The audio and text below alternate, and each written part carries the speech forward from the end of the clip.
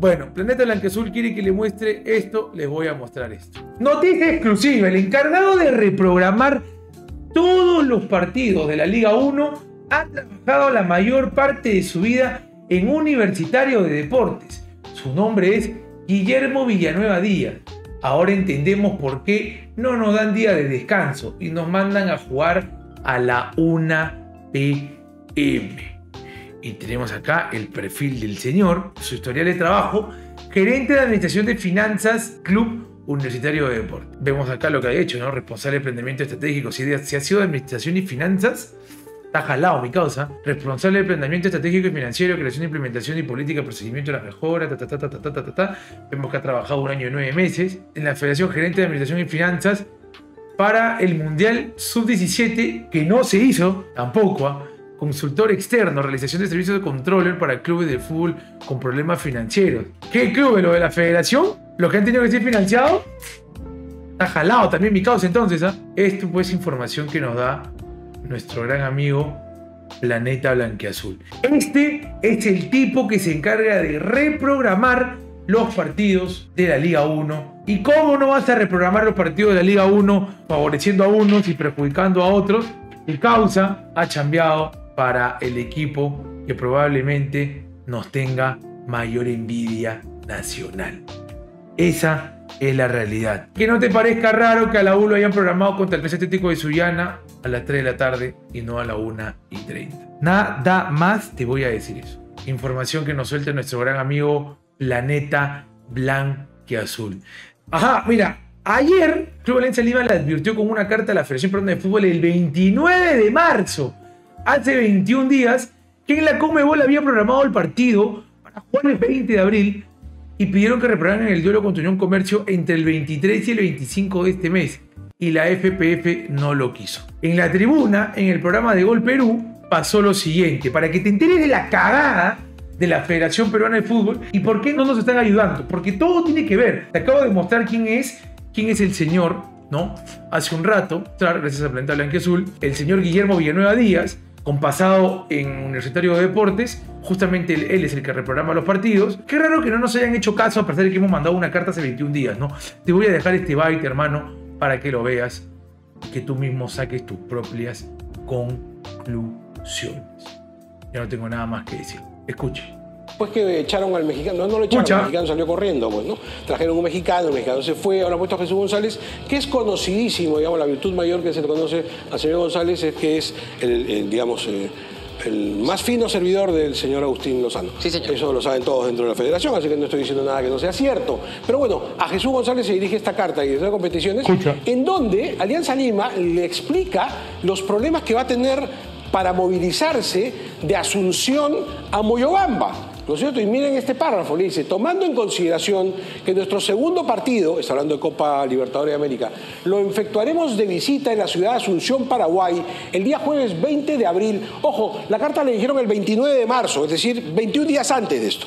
El 20 de abril, a 21 días, enfrentando al Club Libertad, efectivamente, Alianza va a jugar este jueves contra Libertad en Paraguay, y nuestro regreso por cupos aéreos ya gestionados y separados solamente podrá realizarse el día sábado 22 del mismo mes en dos grupos, lo que colisiona con nuestro partido de la fecha 13, a jugarse en la ciudad de Moyobamba.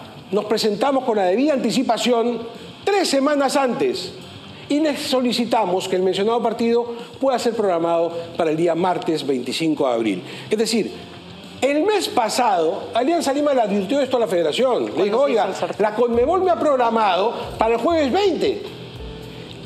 Y como me ha programado para el jueves 20, yo solamente he encontrado aviones de regreso por las vías comerciales el día sábado. Eso lo ha tenido que cambiar. Tranquilos todos, ¿eh? lo ha tenido que cambiar. ¿Y qué hizo la federación? Me entra por un oído y me sale por el otro. La, la, la, la, la, soy Lozano, lo, no hago caso. Me llega el pincho, no hago caso. El que reprograma es hincha de la U. Ha trabajado en universitario. Qué raro que no nos hayan reprogramado los partidos, ¿no? Como que todo va cobrando sentido, ¿no? Qué raro que hayamos jugado contra Atlético Grau a la una de la tarde, ¿no? En una cancha paupérrima, terrible, inhumano, jugar ahí. Qué raro, ¿no? Qué raro. Qué raro que siempre todas las programaciones sean perjudiciales para Alianza Lima, ¿no? Suyana a la una de la tarde. Qué raro, ¿no? Pero ahora que se descubre que el que programa los partidos, que ha trabajado con gente de universitario, como que todo va tomando un poquito más de sentido, ¿no? Escuchemos obligado, entonces ahora han tenido que ofertar un charter. Le cuesta más plata Alianza, por eso le digo, no solamente lo afecta deportivamente, lo afecta económicamente también, ¿no? Ok, han tenido que ofertar un avión para poder regresar un poquito antes, porque le dijo, oye, si voy a jugar el jueves en horas de la noche contra Paraguay, y tengo que regresar acá, y encima me toca viajar a Moyobamba, no llego. No, o sea, no llego. Alianza Lima juega a las 9 de la noche, el partido acaba a las 11. Bueno, va a ir el viernes en la mañana. Probablemente el viernes ni siquiera entrenen por lo cansados que estén. Recién el sábado van a entrenar. Un día antes previo, un día previo al partido, huevón. Es una cagada, es una, es una porquería, es una aberración todo lo que está sucediendo con la Federación Peruana de Fútbol. Y ahora entendemos por qué, ¿no? ¿Por qué no nos programan como la gente, como una gente decente, ¿no? La verdad que agradezco al canal de Gol Perú por intentar hacer todo esto, por intentar mover todo esto, porque es lamentable bueno, lo que está pasando actualmente con el tema de las programaciones y reprogramaciones de los partidos, sobre todo para el tema de Alianza Lima, ¿no? El bicampeón nacional, no el campeón, papi, el bicampeón nacional, el que te va a representar, el que está ahí poniendo la carita, el que va a jugar, el que te va a representar a ti, a tu maldita federación, a la cual tú estás, te importa tres putos pepinos, te limpias el culo con eso, es la verdad. Tú, Lozano, no te importa nada, weón es la realidad, no te interesa. Tu odio va más allá hacia nuestro club que tu maldita forma de liderar una federación de fútbol profesional, una federación nacional de fútbol. Eres para mí una porquería, mi querido Agustín Lozano. Y todo lo demás se calla. Como decía ayer Erico Sores el, el de domingo, ay, es que encima la taquilla, ¿cuál taquilla, tarado? Si el problema no es la taquilla, el problema es que estás perjudicando a un comando técnico y un plantel en general de futbolistas que se ven perjudicados por decisiones absurdas que al parecer se toman no con la cabeza, sino con la decisión de un hinchaje. Eso es lo peor y eso es lo lamentable. No son decisiones objetivas, sino son decisiones totalmente subjetivas, pensando con el hinchaje o pasión que tienen algunos. Y eso hay que contarlo y eso hay que decirlo. Eso es lo que se tiene que contar.